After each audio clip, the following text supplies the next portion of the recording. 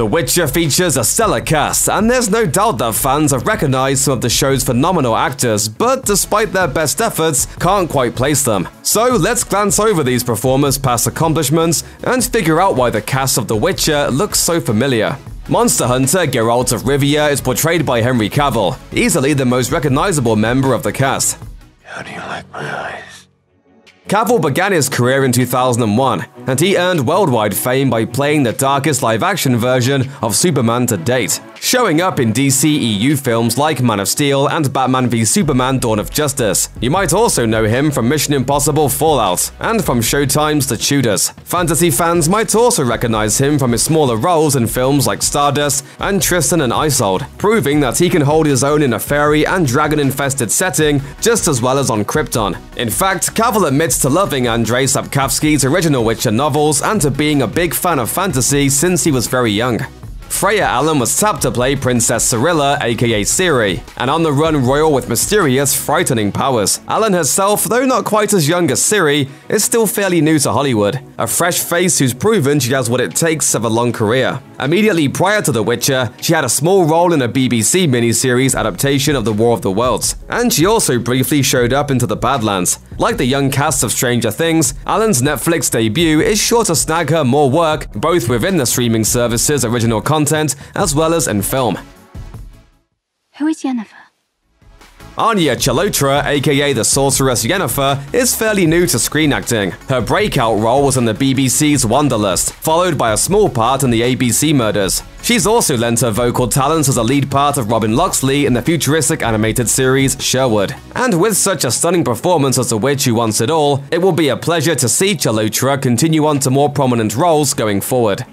Yennefer would never have been able to harness her powers if not for the influence of Tissaia, the head of a magical academy. Typically, a character like this would be played as a hateful stepmother stereotype, but in the very capable hands of MyAnna Buring, Tissaia is as complex, intriguing, and sympathetic a character as Yennefer herself. As for Buring, her first super visible role was as Tanya in both parts of the Twilight Saga, Breaking Dawn. Her stately manner then graced the set of Downton Abbey as Edna. Actor Joey Batey brings plenty of plucky charm and a soothing singing voice to the character of Jaskier, the bard who takes up with Geralt, much to the gruff witcher's dismay. Before taking up the lute, Batey had small roles in several television series, including The White Queen, another series featuring strong-willed and powerful women. Lovers of historical dramas might also recognize him from his recurring role as Pierre on the History Channel's Nightfall. The Witcher boasts a cast of extremely powerful and influential women, and it's hard to get much more powerful and influential than Calanthe, warrior queen of Cintra. Calanthe is brought to life by the incomparable Jodhi May, who's no stranger to playing a queen, having taken up the mantle of Queen Victoria and The Warrior Queen of Jonsei. She appeared in an episode of Game of Thrones in 2015 as a fortune teller named Maggie. A small role, but interesting to note considering how much The Witcher has been compared to the HBO fantasy series. You might also recognize her from her role as Alice Munro in the 1992 adaptation of The Last of the Mohicans, starring Daniel Day-Lewis.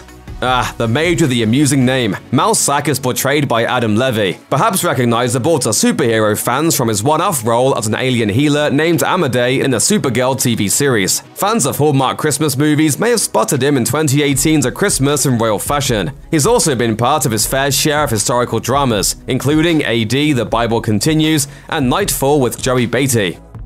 To play the conniving maid Stregobor, the showrunners cast Danish actor Lars Mikkelsen, the brother of Hannibal's Mads Mikkelsen. Unless you're very familiar with Danish film and television, it's unlikely you've seen a lot of him. However, he played the recurring character Victor Petrov in the very popular Netflix series House of Cards, and fans of BBC's Sherlock will easily recognize him as Charles Magnussen from the episodes His Last Vow and The Empty Hearse. It seems Mikkelsen has a knack for playing sinister types, and his casting as Stregobor is spot on in this regard.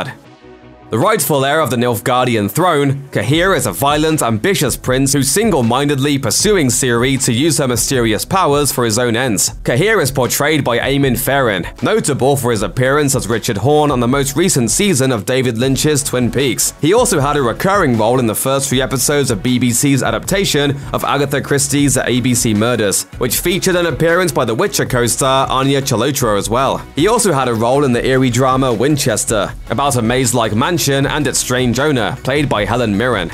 Dara is played by the young but very talented Wilson Radjou-Pujalte, who's had roles in several lesser-known television series. His largest role is easily that of Aladdin in the BBC series Jamillah and Aladdin. He also has a substantial part in the Nickelodeon series Hunter Street, and like many British actors, he's found work in a Charles Dickens-inspired series. In this case, he starred as Dodger in BBC's Dickensian. Triss Merigold initially seems like a one-off character whose purpose is to hire Geralt to slay a horrible monster. Instead, she becomes a more prominent player later in the series. Triss is played by Anna Shaffer, who kicked off her acting career in a rather impressive way, playing Romilda Vane in Harry Potter and the Half-Blood Prince and Harry Potter and the Deathly Hallows. She was also on the British teen soap opera Hollyoaks for seven years as Ruby Button, her stint there spanning an impressive 242 episodes. Check out one of our newest videos right here, plus even more Looper videos about The Witcher are coming soon. Subscribe to our YouTube channel and to the bell so you don't miss a single one.